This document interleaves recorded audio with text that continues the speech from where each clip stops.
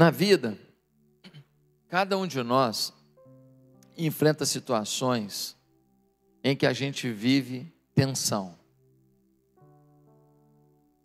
A gente se dá bem aqui, a gente vence ali, a gente conquista ali, mas sempre tem alguma coisa na nossa vida que gera muita tensão. E essa tensão não é só sobre a gente, é sobre a nossa família, é sobre a nossa casa. Toda família tem alguma coisa que a tensiona em algum momento, em alguma fase da vida. Aqui nós temos um homem, o nome dele Jairo. Quem é Jairo? Jairo é o líder da sinagoga. Ou seja, naquela comunidade ele exerce influência. Naquela comunidade ele tem uma responsabilidade grande. As pessoas olham para ele como alguém importante, como alguém relevante, como alguém a ser imitado. Jairo é uma pessoa que gerencia projetos, que gerencia pessoas, que aconselha pessoas, que orienta pessoas. Ele vive um sucesso. Ele é um homem que se sente importante. Aliás, deixa eu abrir um parêntese. Porque muitas famílias são destroçadas? Porque os homens deixaram de se sentir importantes. Às vezes, o homem não está com muita coisa, está vacilando, está pisando na bola, não está assumindo seus compromissos. E aí, a mulher joga na cara, bate nele, fala para ele, pega no pé, reclama, e ele se sente menos empoderado ainda, mais fragilizado. Dificilmente esse homem vai conseguir se levantar. É nessa hora que esse homem está fragilizado que uma palavra inteligente dizendo: Olha, você é tão importante, tão talentoso, tão capaz. Eu conto com você para a gente dar essa volta por cima, que esse homem se fortalece, esse homem se empodera, e então ele volta a ser homem, porque homem sem estar empoderado não é homem, é meio homem, ele está enfraquecido, ele está prejudicado. E então, essa mulher sábia faz esse homem novamente se sentir importante. E então, ele pode desempenhar o seu papel masculino dentro da família, um papel de liderança, um papel de força, de provisão, de luta, com muito mais eficiência, com muito mais eficácia. Bem, fechado parênteses, empodere o seu homem. E esse homem Jairo, ele está aqui, ó, numa situação realmente de muita visibilidade, de muita conquista, porém, a filha dele está morrendo. Uma menina de aproximadamente 12 anos, a filhinha do coração, agora está morrendo. Todo sucesso que a gente viva nessa hora não vale muita coisa. Todo sucesso que a gente viva, na hora que uma pessoa que é tão importante para a gente está para morrer, todo sucesso não vale muita coisa. E o Jairo vai até Jesus, vai até Jesus dizendo: Olha, Jesus, a minha filha de 12 anos está morrendo, o senhor pode comigo? Jesus fala: Vamos, vamos. Só que enquanto eles estão indo, uma mulher que tem uma hemorragia há 12 anos, ou seja, ela tem um fluxo menstrual constante, e essa mulher, então, ela é considerada amaldiçoada, ela é considerada impura. Por quê? Porque ela tem um problema que a deixa impura na, no pensamento daquela época constantemente. Ela é um maltrapilho de mulher, ela é uma mulher mal cheirosa. Naquela época não tem absorvente, não tem uma série de mecanismos que as mulheres têm hoje para manter a sua tranquilidade no fluxo menstrual. Ela não, ela está sempre suja, sempre com um cheiro forte, ela é deixada de lado. E essa mulher, ela interrompe o caminho de Jesus para curar uma menina que está prestes a morrer. E então, essa mulher curada, porque ela toca na veste de Jesus, e ela dialoga com Jesus, e só depois Jesus vai até a casa de Jairo, e quando chega lá, acontece algo maravilhoso. A menina é ressuscitada, pois já estava morta. O fim da história, o fim da tensão, acabou. O que tensionava a família foi resolvido, a alegria voltou. Deus manda dizer para você hoje aqui que o, o que hoje está tensionando a sua família não é o fim, é só um processo. O que tensiona a sua família é um processo para que você resgate em Deus os princípios e os valores que vão te levar para uma nova posição rumo ao extraordinário de Deus. Cada um de nós se enterra na tensão se quiser, porque a tensão não é o fim. E nós precisamos compreender e acreditar nisso e viver. Vou pedir para vocês que estão aqui, fica um pouquinho mais para cá, João, só para não ficar na frente daqueles benditos ali. Isso, obrigado. Isso, obrigado, obrigado. Então, nós precisamos de todo o coração crer nisso, que não é o fim. Só que é o seguinte: quem aqui está vivendo uma tensão? Quem aqui vive alguma área de provocação? É difícil, não é? Como é que a gente supera isso? Como é que a gente supera isso na nossa vida? Bem, para sair da tensão com sua família, a primeira coisa que você precisa fazer, defina suas prioridades de vida com sabedoria. Defina suas prioridades de vida com sabedoria. Tem horas que você tem muitas coisas a fazer, você tem que definir o que é mais importante. O Jairo tinha gente que queria se aconselhar com ele, o Jairo tinha gente que queria saber como é que ia ser a reunião próxima da sinagoga, o Jairo tinha que reunir com o prefeito da cidade para determinar alguma coisa, o Jairo precisava tomar algum rumo, se eles iam fazer obra ou não naquela sinagoga. Mas às vezes é nessa hora que a gente tem que parar tudo. Se tem alguém que a gente ama morrendo. Se tem alguma coisa que é mais importante morrendo. Infelizmente, algumas pessoas prosperam e isso acaba com suas prioridades. Algumas pessoas, porque prosperam, começam a frequentar mais restaurantes do que o quarto do filho. Porque prosperam, preferem viajar do que ter um tempo juntos em casa, e a pandemia ajudou um pouco. Algumas pessoas, porque prosperam, começam a fazer tanto sistema de embelezamento, tantas é, é, rituais de embelezamento, e de lazer, e de, de saída, e de comidas, e de restaurante, que não sobra nem tempo para ficar em casa e assistir um filme juntinho, comendo pipoca, que quando se era mais pobre era tão gostoso. Gente, há muitas pessoas aqui que gostam de vir à igreja, eu fico feliz com isso. E querem viver a fé, eu sei que querem viver a fé, mas nunca decidiram verdadeiramente priorizar Deus. Nunca decidiram de verdade entregar tudo que são e que têm nas mãos do Senhor. Alguns homens e mulheres estão me ouvindo aqui, eu estou me ouvindo em casa, nunca priorizaram a vida com Deus e a vida em família. Você vem à igreja, você gosta do louvor, você gosta da mensagem, você gosta de ver as pessoas, e isso é muito gostoso, eu fico feliz com isso, mas você não se entregou.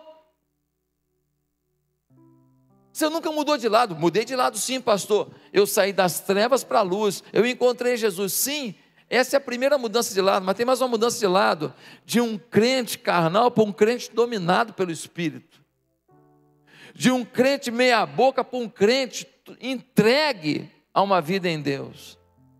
Tem uma mudança de lado que alguns ficam anos e anos na igreja e nunca fazem. São sempre aquelas mesmas situações que você não consegue administrar e que te afastam de Deus. Meus amados, Deus muitas vezes tem que deixar algo morrer para afastar você do que você faz, para te aproximar do que você ama. Quem que você ama de verdade? Você ama Deus? Você ama sua mulher? Você ama seu filho? Você ama seu marido? Você ama seu pai? Você ama sua mãe? Às vezes Deus tem que deixar alguma coisa à beira da morte para ver se você acorda que essas coisas são as coisas prioritárias e não as coisas elementares, desprezíveis, substituíveis. Quero perguntar a vocês, irmãos, O que é necessário para Deus chamar a tua atenção hoje? O que se Deus permitisse na sua vida, você realmente ia se voltar para Deus e para sua família. Se não aconteceu, não espere que aconteça. Se antecipe. Porque no caso de Jairo, Deus usa sua única filha morrendo para afastá-lo do que ele faz e aproximá-lo do que ele ama. Meus amados, nós precisamos entender esse princípio de Deus. Eu estou falando que todos ao seu redor precisam saber que eles são as pessoas, em última análise, mais importantes da sua vida: seus pais, seus filhos, sua mulher, seu marido. Eles precisam saber da sua boca, eles precisam saber do seu tempo, eles precisam saber da sua atitude, muito menos do seu dinheiro. Porque não é uma viagem para Las Vegas, ou para o Hawaii, ou entregar os tickets de todos os parques da Disney na mão de um filho, que vai provar para ele o quanto ele é importante para você. Eu te afirmo isso. Você precisa definir suas prioridades com sabedoria. Deus, depois família, depois igreja. Mas sua família é mais importante do que o que você faz na igreja. Cuide deles e leve-os a Deus, que é a prioridade da nossa vida. Segundo lugar, se você quer sair da tensão com a sua família, passe as situações vividas pelo filtro da paciência.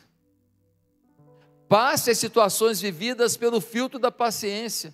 Qual é o grande problema aqui? O grande problema é que tem um homem desesperado. Jesus, vai lá em casa, por favor. Olhe pela minha filha, minha filha está morrendo.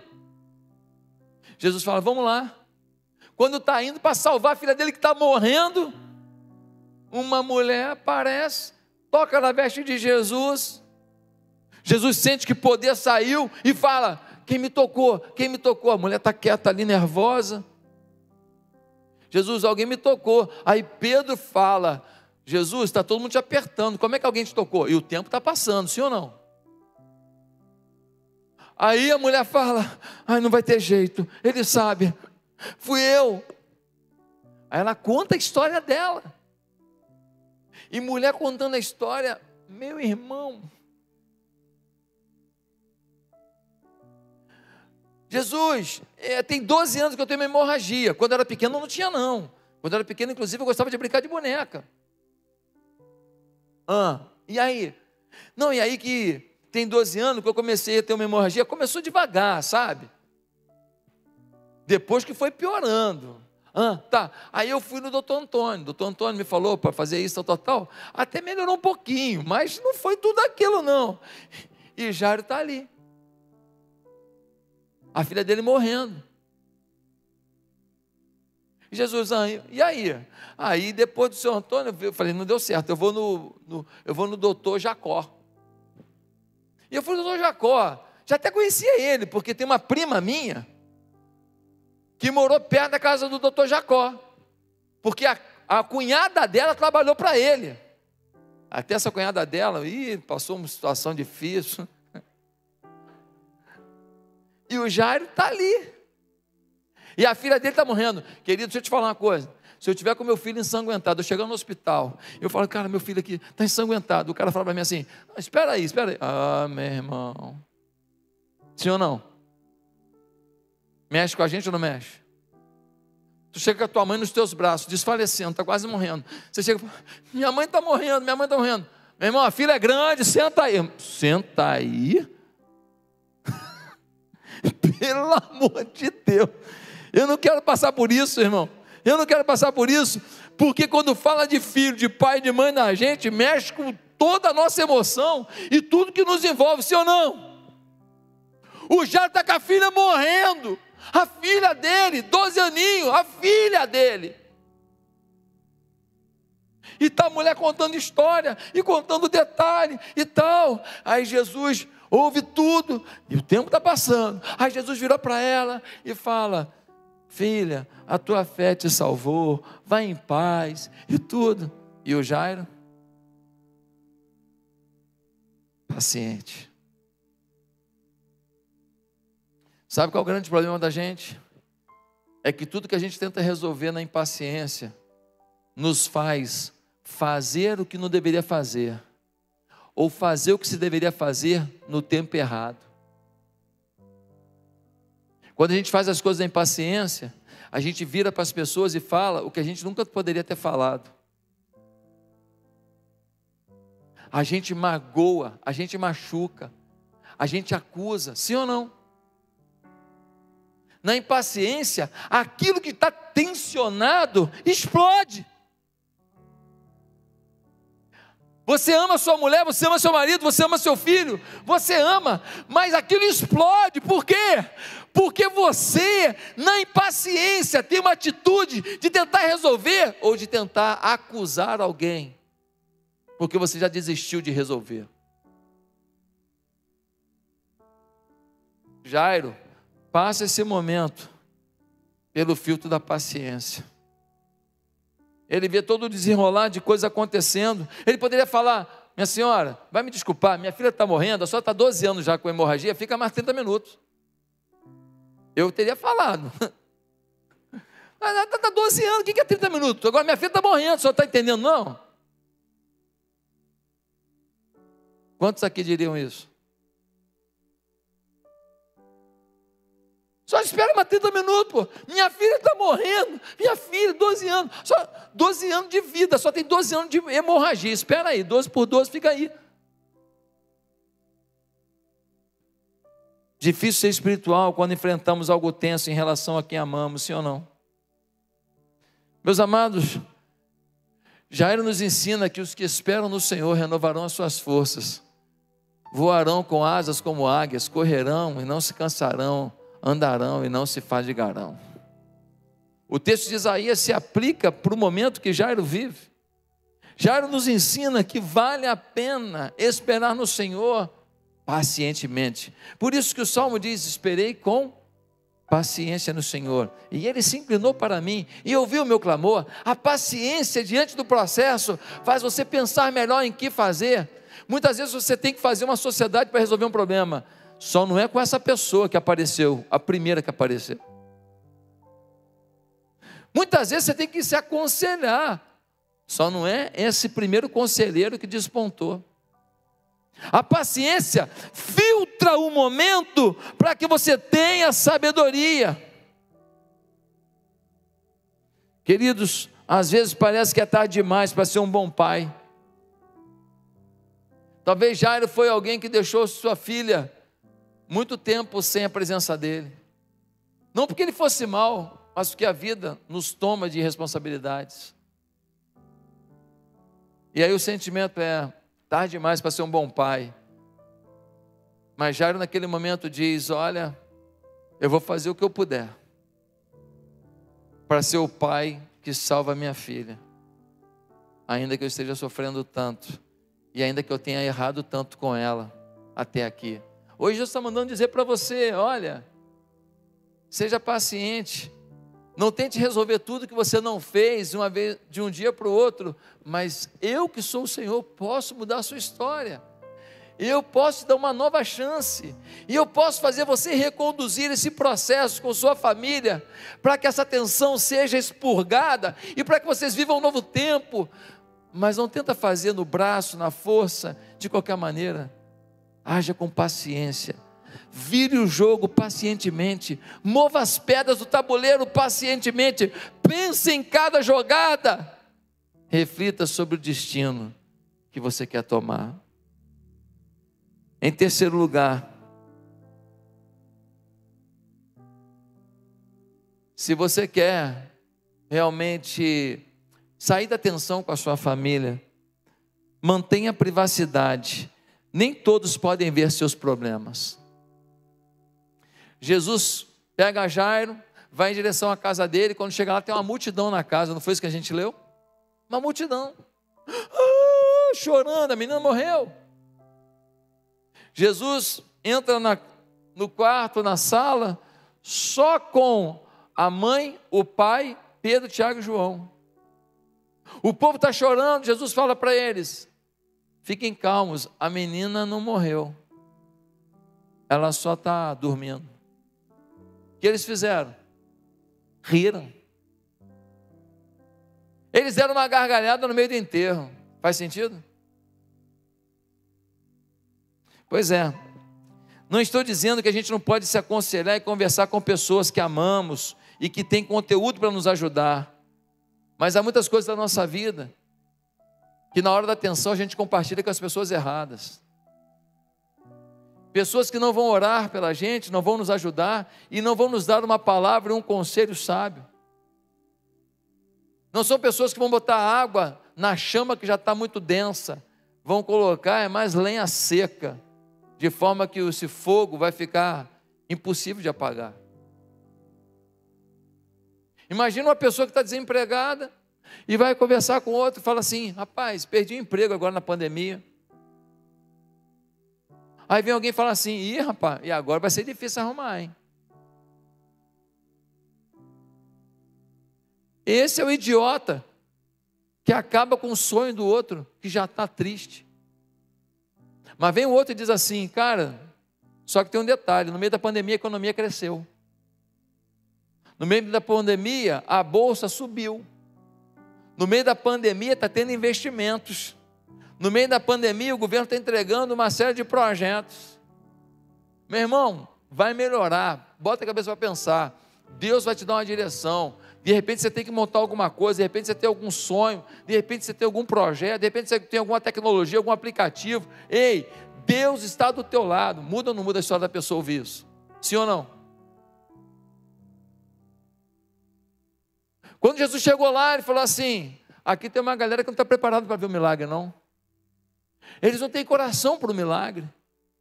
E a prova disso, ele dá, ele mostra, ó, vocês estão achando que tirei todo mundo, deixei só vocês aqui, vocês estão achando que eu fui intransigente? Dá uma olhada só. Ei, gente, não chora não, que a menina está dormindo. Está dormindo, né?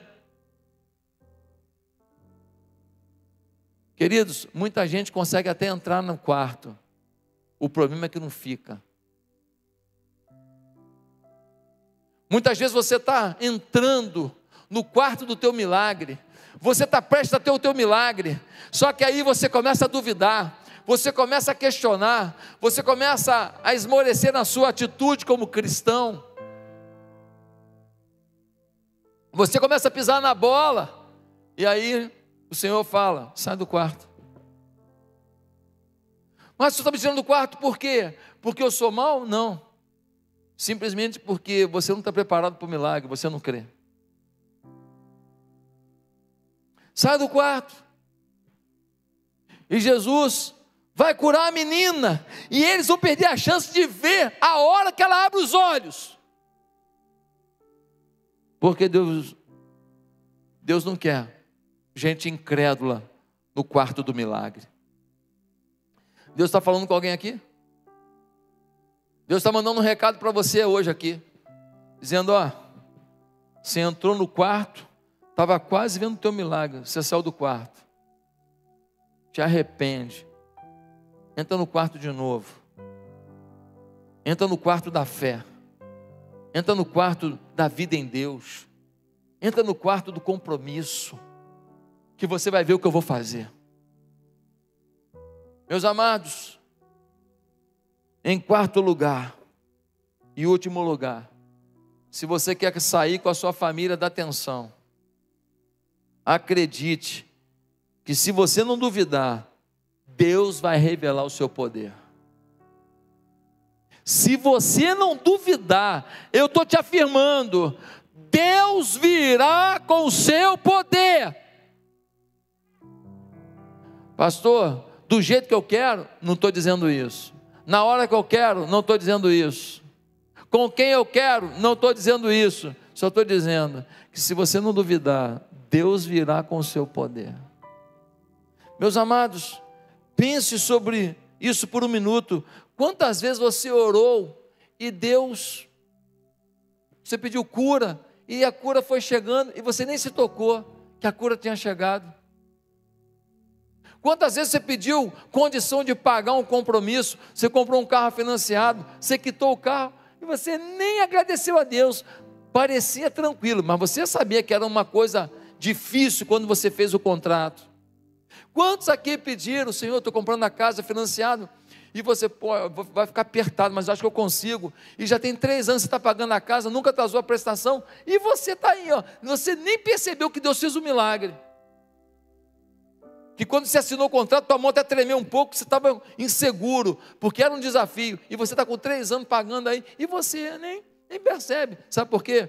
Porque Deus independe de você para fazer o milagre. Deus independe. Ele faz porque Ele é bom, porque Ele é maravilhoso, Ele é forte, Ele é poderoso. Claro tem coisas que você faz e que preparam o caminho para um milagre acontecer. Óbvio. Mas se Deus quiser fazer, Ele faz independente de qualquer atitude tua, independente de qualquer situação tua. Quantas vezes Deus está manifestando o seu poder simplesmente porque Ele quer. Tinha gente, tinha gente chorando, depois deu gargalhada, duvidou. Ele foi lá no ouvido da menina morta e falou assim: Talita cume, ou seja, menina, desperte. A menina abre os olhos, levanta da cama e fala: Quem é o Senhor? Eu sou Jesus aquele que ressuscita os mortos. Deixa eu te falar uma coisa que Deus está mandando te dizer hoje aqui. Tem área morta na tua vida, ou quase morrendo. Deus está dizendo para você: se você não duvidar, eu ressuscito. Se você não duvidar, eu ressuscito. Eu não sou aquele que dependo de ainda ter uma última chance para poder fazer o milagre. Quando a última chance acabar, eu ainda faço o milagre. Quando tudo for exterminado, não tiver mais possibilidade, e você não tiver dúvida alguma que fui eu que fiz, aí eu vou me manifestar. Meus amados, eu fico imaginando o final daquele milagre, Jairo falando para Jesus, tomando um cafezinho, né? Um cappuccino. Aí Jairo vira para Jesus e fala assim: Jesus, pelo amor de Deus, hein? Tive que ver minha vida, minha filha morta, para só agora o senhor curar? Que loucura! Aí Jesus fala para ele, Jairo, eu tinha que esperar ela ela morrer. Aquela mulher que apareceu no caminho lá estava no projeto, estava no script. Mas, mas por que, Jesus? É, porque eu tinha que ver a tua filha morta, para você não ter dúvida nenhuma de que foi o meu poder que agiu. Eu não queria curar tua filha, eu queria ressuscitar. Jairo, em 2020, vão estar pregando e vão estar falando sobre o milagre da tua filha. A tua filha vai entrar para a história por causa da tua fé e da tua confiança. Meus amados, até hoje eu não entendo muitas vezes por que, que Deus já sabe o que vai fazer, por que, que Ele deixa acontecer o ruim primeiro. Mas tem uma resposta clara para isso. Teste. Deus já sabe o milagre que vai fazer, mas Ele deixa dar ruim primeiro, deixa a coisa ir ladeira abaixo primeiro, para te testar para ver quem Ele é para você, para que você saiba quem você é nele, para que você reafirme a sua fé e transforme sua postura, e então você se volte para Deus de todo o seu coração. Meus amados, a tensão foi embora. E aí eu tenho um último princípio que eu preciso passar para você. Imagina agora que Jesus foi embora, Pedro, Tiago e João também. O pessoal que estava chorando foi embora. A menina já comeu o miojo, que ela é doida por miojo, comeu miojo com nugget. Aquela comida assim muito saudável que criança gosta. E aí o pai e a mãe pegam a filha, vão lá, arrumam a cama, bota ela deitadinha. O pai começa a cantar uma música e ela dorme. O pai vem com a mão, bota assim perto do nariz, aí sente que ele ele está respirando. Ele abraça a mulher, eles vão andando para a porta, eles saem pela porta, olham para a filha mais um pouquinho, falam graças a Deus. Graças a Deus. Fecham a porta, vão para o quarto deles, deitam na cama deles. E quando eles deitam na cama, a mulher abraça o Jairo. Abraça o Jairo e fala assim: Jairo, queria te falar uma coisa. Eu nunca vou esquecer o que você fez hoje. Eu nunca vou esquecer a luta que você travou para salvar nossa filha. Eu nunca vou esquecer da sua busca desesperada, da sua luta desesperada para trazer o Salvador para o nosso problema. Jairo, tenho muito orgulho de você. Você é o homem que eu pedi a Deus. Eu vou fazer de tudo para você ser mais feliz.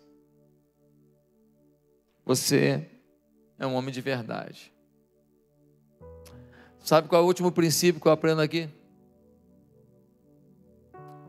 É que quando você luta para tirar a atenção da sua família, Deus vai te honrar.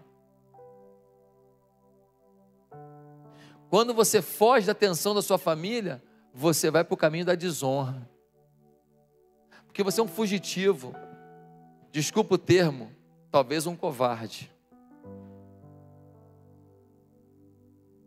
Mas toda vez que você tenta arrancar a atenção da tua casa, a atenção do teu filho, do teu pai, da tua mãe, a atenção do teu cônjuge, toda vez que você procura trazer paz para o teu ambiente de vida. Deus vai te honrar. E Deus honrou Jairo. E ele agora não é mais o líder da sinagoga. Ele agora é o pai da menina que ressuscitou. Deus quer ressuscitar coisas na tua vida. E começa com você essa busca mas você não vai ter essa fé. Se você não acertar a sua vida com Jesus, se você não entregar o seu caminho a Ele, pedir perdão dos seus pecados, e pedir que o Espírito de Deus tome a sua vida. Ei, você na internet, você na internet, você precisa se voltar para Jesus hoje de todo o coração. Você que está aqui, você precisa se quebrantar, receber Jesus como Senhor da sua vida hoje, de todo o seu coração. Quem quer fazer isso hoje? Quem quer hoje começar uma nova vida, uma vida de fé, uma vida de busca, uma vida de prioridades, uma vida de paciência diante do Senhor, uma vida de sabedoria, para não sair falando para todo mundo, tendo privacidade, confiando nas pessoas certas para ver o seu milagre. Você quer isso hoje? Aonde você está? Curve a sua cabeça, porque hoje Jesus quer mudar a sua história. Aonde você está? Repita comigo a sua oração. Ninguém precisa ouvir. Se você quer começar uma nova vida em Jesus, diga assim: Santo Deus, eu peço perdão dos meus pecados. Eu peço que o Senhor mude a minha história. Eu peço que o Senhor mude a minha vida. Santo Deus, eu quero priorizar o Senhor em primeiro lugar, a minha família em segundo lugar a obra de Deus, terceiro lugar, a igreja, e assim por diante. Eu quero inverter as posições de prioridade, eu quero andar segundo os teus caminhos, pois é no nome de Jesus que eu oro e suplico isso. Amém.